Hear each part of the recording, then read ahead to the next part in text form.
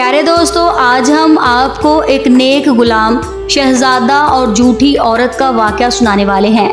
बोलने वाले बंदर ने नेक गुलाम की गवाही कैसे दी? आइए जानते हैं। किसी जगह एक नेक दिल बादशाह की हुकूमत थी। वो चाहता था कि उसकी तमाम रिया के लोग अल्लाह की राह पर चलें और बेहतरीन तरीके से ज़िंदगी गुजारें। जब बादशाह शदीद बीमार हो गया और उसके अंदर हुकूमत चलाने की ताकत न रही तो उसने हुकूमत अपने बेटे के हवाले कर दी। उसका बेटा भी अपने बाप ही की तरह अच्छे इखलाक का मालिक था। उसके दो दोस्त थे, एक वज़ीर का बेटा और एक उसके गुलाम का बेटा था। शहजादे ने अपने दोनों दोस्तों से वादा लिया कि हम मिलकर साथ रहेंगे। हर मुश्किल घड़ी में एक दूसरे का साथ निभाएँगे। हम में से कोई किसी से कोई बात नहीं छुपाएगा, ना ही झूठ बोलेगा और ना कभी गद्दारी करेगा। शहजादे ने अपने दोनों जिगरी दोस्तों को ये बात बता दी थी कि अगर मुझे नज़र आया कि कोई भी मुझसे गद्दारी कर रहा है तो बाज़ार में उसको खड़ा करके लोगों के सामने पत्थर मारे जाएँगे। उसका मुँह काला करवाया जाएगा। बस ख्याल रखना, हर बात बर्दाश्त की जा सकती है। लेकिन गद्दारी और धोखेबाजी मुझे बिल्कुल पसंद नहीं। अब नौकर का बेटा तो बहुत नेक था और अल्लाह की इबादत में अपने वक़्त को गुजारता था। अक्सर वो जंगल की तरफ़ चला जाता था, ताकि वहाँ सुकून के साथ वो अल्लाह की तन्हाई में इबादत करे, नमाज़ पढ़े, ज़िक्र करे और कुरान शरीफ की तिलावत करे। वो नहीं चाहता था कि कभी भी कोई किसी को बुरा भला कहे। उन तमाम खूबियों की वजह से शहजादे को वो गुलाम का बेटा बहुत पसंद था, क्योंकि वो सच बोलता था। और यूँ उनकी दोस्ती दिन ब दिन बढ़ती चली गई। शहजादे की गुलाम के बेटे से मोहब्बत देखकर उसके दिल में दुश्मनी पैदा होना शुरू हो गई।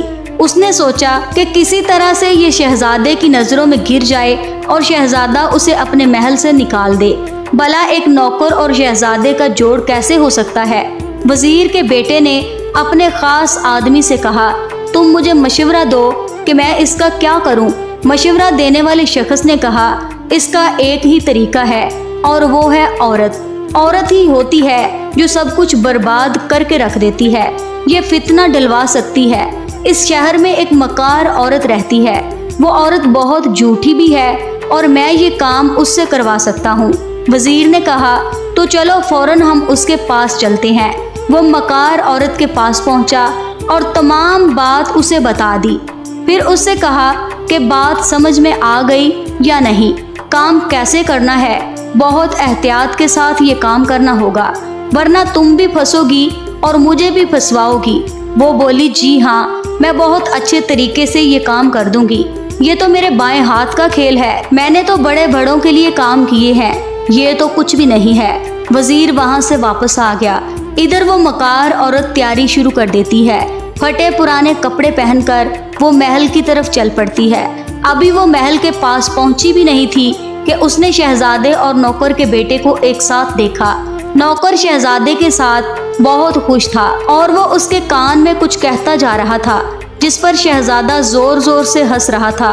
वो औरत अचानक उनके पास पहुँची और नौकर से कहा, जरा सुनिएगा, वो बार बार इशारे से उसे कह रही थी। इधर मेरे पास आओ, मुझे तुमसे बहुत ज़रूरी काम है। नौकर को गुस्सा तो आ रहा था लेकिन वो उसके पास फिर भी चला गया और कहने लगा, कौन हो तुम और क्या बात है? जो मुझसे तुम अकेले में करना चाहती हो। वो कुछ बोली नहीं।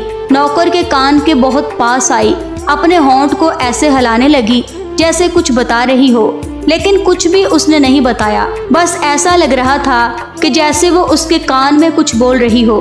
अब शहजादे को दिखाने के लिए उसने ऐसा किया था, जबकि नौकर के कान में उसने कुछ भी नहीं कहा। शहजादा समझ नहीं पा रहा था कि नौकर से अनजान औरत ऐसी कौन सी बातें कर रही है। फिर उसने एक जुमला ज़ोर से कहा कि जो बात मैंने कही है, वो किसी को मत बताना। नौकर समझ नहीं पा रहा था कि उसने मुझे क्या कहा है, लेकिन शहजादे को ये लग रहा था कि वो बहुत अहम बात कर रही थी। नौकर का बेटा जब वापस शहजादे के पास आया, शहजादे ने उससे पूछा, वो तुम्हें क्या कह रही थी? क्या वो हमारे खिलाफ कोई बात कर रही थी? या फिर कोई और पैगाम दे रही थी। नौकर का बेटा कहने लगा, हुजूर, उसने तो मुझे कुछ नहीं कहा। फिर भी कहती है कि किसी को कुछ नहीं बताना। वो मकार औरत दूर खड़ी हंस रही थी। फिर ज़ोर ज़ोर से कहने लगी, मैंने तुम्हें जो बताया है, उसे राज रखना। शहजादे को भी कभी मत बताना। अब शहजादे ने जब ये बात सुनी तो वो गुस्सा होने लगे। उसने नौकर के बेटे से कहा, तुम मुझसे झूठ बोलते हो ना। उसने तुम्हारे कान में ज़रूर कुछ न कुछ कहा है। मैंने खुद अपनी आँखों से देखा और तुम कहते हो कि उसने तुमसे कुछ भी नहीं कहा। नौकर परेशान होकर बोला, शहजादे, मैं कह रहा हूँ ना, उसने मुझे कुछ भी नहीं कहा। आपको यकीन क्यों नहीं आ रहा? उसने सिर्फ़ आपको दिखाने के लिए ऐसा किया है। मुझे लगता है कि किसी दुश्मन मुल्क की वो औरत है और आपको मुझसे लड़वाने के लिए आई है। लेकिन शहजादा उसकी बात को मानने के लिए तैयार नहीं था। नौकर के बेटे ने लाचार होकर कहा ठीक है, आप मेरी बात पर यकीन नहीं करते, कोई बात नहीं। लेकिन इस औरत को बाहर भेजिए। वो राज क्या है, अभी नहीं बताऊँगा। मुझे मोहलत चाहिए। अगर आप सब्र तहमल से काम लेंगे तो वो बात जो उसने मेरे कान में कही है, वो आप तक सही अंदाज में ज़रूर पहुंचेगी। उसने कहा, ठीक है, एक मौका दे रहा हूँ। लेकिन ख्याल रखना, इस बात के बारे में जो कुछ तुम कहोगे, सच कहोगे। सच के सिवा कुछ नहीं कहोगे, वरना तुम्हारा मेरा रिश्ता हमेशा के लिए खत्म हो जाएगा। और आगे के बारे में तुम जानते हो, मेरी तरफ़ से तुम्हें कौन सी सजा मिलेगी?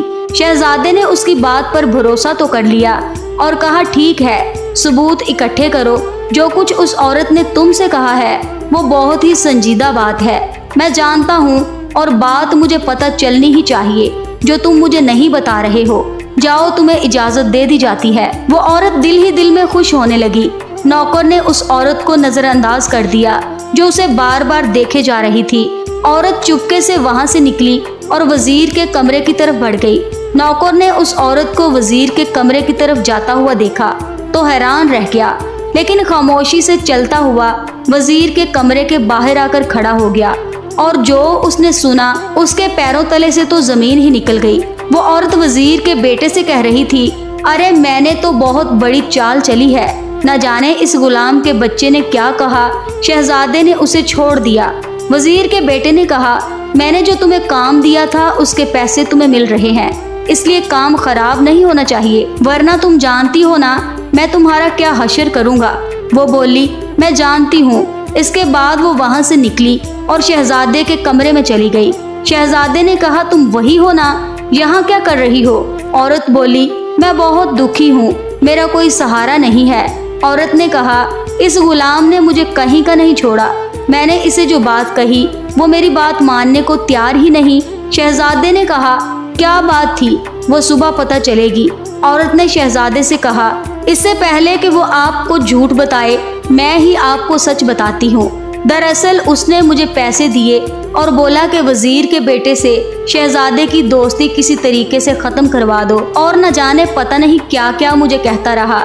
लेकिन मैं अल्लाह के खौफ से डर गई और मैंने ये काम करने से इनकार कर दिया। यही बात मैंने उसके कान में बताई थी। मैं ये काम अब नहीं कर सकती। ऐसी बातें सरे आम तो नहीं बताई जा सकती। और अब वो मुझे इस बात की वजह से मारने की धमकी दे रहा है। शहजादे को वैसे ही झूठ पसंद नहीं था और वो इस औरत के इस तरह रोने धोने पर, आँसू बहाने पर उसकी सारी बातों पर यकीन करने लगा। यकीनन मेरे नौकर ने मेरे गुलाम ने इसके साथ गलत किया है। सुबह होने से पहले उस गुलाम को दरबार में बुलाया गया। शहजादे ने कहा, मैंने तुम्हें इज़्ज़त दी, मान दिया और गुलाम का बेटा होकर तुम्हें अपने बराबर में बिठाया। इसलिए कि तुम मेरे दोस्त थे और मेरे लिए दोस्ती की बहुत अहमियत है। और बहुत कदर है। लेकिन मैंने तुमसे क्या कहा था? मुझसे कभी झूठ मत बोलना, कभी गर्दारी मत करना। मेरे पीठ पीछे कोई ऐसा काम मत करना। और तुमने अब ऐसा काम किया जिसको मैं कभी भी पसंद नहीं करता। गुलाम ने कहा, हुजूर, मैंने कौन सा ऐसा काम किया? मैंने आपसे कहा था ना कि सुबह तक मैं आपको सब कुछ सच बता दूँगा। शहजादे ने कहा, इससे पहले ही मुझे सच्चाई का पता चल चुका है। तुमने इस औरत को क्या करने को कहा? वो औरत जो कि अकेली है, जिसका इस दुनिया में कोई भी नहीं है, तुमने इसकी बेबसी लाचारी का, मजबूरी का फ़ायदा उठाया। ये कैसे हो सकता है?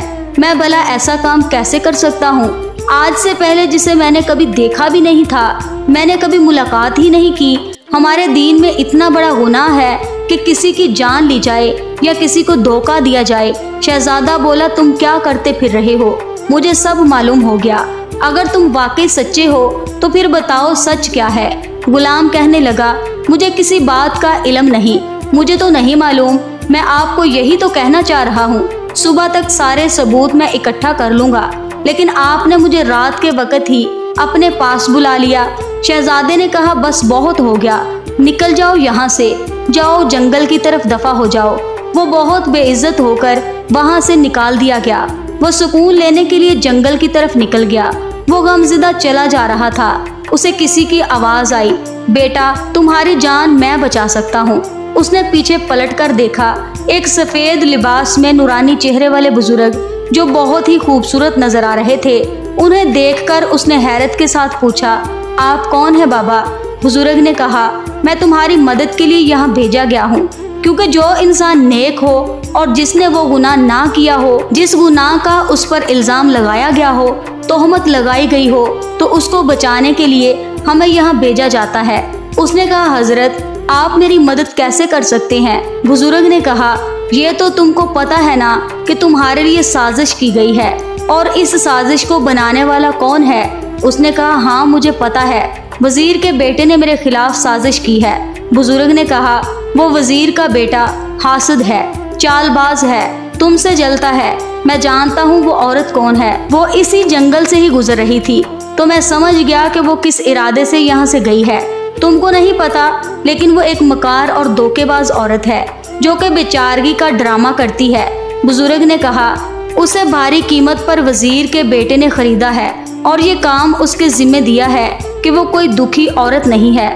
वो सिर्फ़ वज़ीर के कहने पर ये काम कर रही है। सिर्फ़ झूठ बोल रही है, ताकि शहजादा तुम्हें अपने मुल्क से निकाल कर बाहर फेंक दे और वज़ीर उसका दोस्त बनकर राज करे। उसे सुनकर एक झटका सा लगा। जाहिरी सी बात है, बरसों पुरानी दोस्ती थी और इसी तरह दोस्ती का टूटना एक दोस्त को भला कैसे बर्दाश्त होगा? उसने कहा, आप मेरा किस तरह से साथ देंगे? क्या आप मेरे साथ चलेंगे? अल्लाह वाले ने कहा, नहीं। मैं तुम्हारे साथ दरबार में नहीं जाऊँगा और एक खास जानवर भेजूँगा जो तुम्हारे काम करेगा, क्योंकि एक इंसान दूसरे इंसान की बात नहीं मानता। मुझे यहाँ से लेकर जाओगे तो शहजादा शक भी कर सकता है, लेकिन जानवर को लेकर जाओगे जो अपने मुँह से गवाही देगा कि तुम बेगुनाह और बेखता हो और गुनागार असल में कौन है, गुलाम हैरान होकर पूछने लगा, भला वो कौन सा जानवर है जो बातें करता है, जो गवाही देगा अल्लाह वाले ने कहा ए बोलने वाले जानवर, तुम्हें किसी के काम के लिए जाना है। इतने में एक बंदर वहाँ से उछलता हुआ आ गया और कहने लगा, जी आप कहें, मुझे किस काम के लिए और कहाँ जाना है? बुज़ुर्ग ने कहा, ये जो बंदा खड़ा है ना, इसके साथ जाओ। तुम जानते हो ना, तुम्हें क्या गवाही देनी है? बंदर कहने लगा, जी मैं सब जानता हूँ। मुजरिम कौन है? गुलाम बड़ा हैरान हुआ। उसने कहा, अल्लाह वाले, बंदर बोलता कैसे है? अल्लाह वाले कहने लगे, इसने एक बहुत बड़ी नेकी की है। ये चाहता तो अपनी जान बचाकर वहाँ से भाग सकता था, लेकिन इसने ऐसा नहीं किया। दरअसल यहाँ इस जंगल में एक दिन बहुत बड़ा तूफ़ान आ गया था। सब जानवर परेशान इधर उधर भाग रहे थे। इस बंदर ने सबकी जान को बचाया है। इस वक्त हम भी इस जंगल में आए हुए थे। हमने देखा, ये बंदर हर एक की जान को बचा रहा था।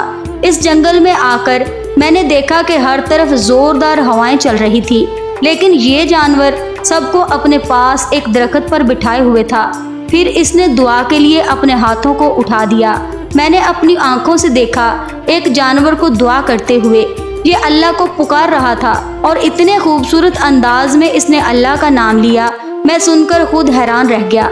इसने कहा, ए अल्लाह पाक, ए रब कादर, मैं जानता हूँ तू तूफ़ान भेजने वाला है। तू अजाब भेजने वाला है, लेकिन तेरी रहमत, तेरी मोहब्बत, तेरी चाहत इससे भी कई गुना बढ़कर है। हमारे गुनाहों की वजह से ये तूफ़ान आते हैं, ये जलजले आते हैं, लेकिन अल्लाह तू हमें माफ़ करने वाला है।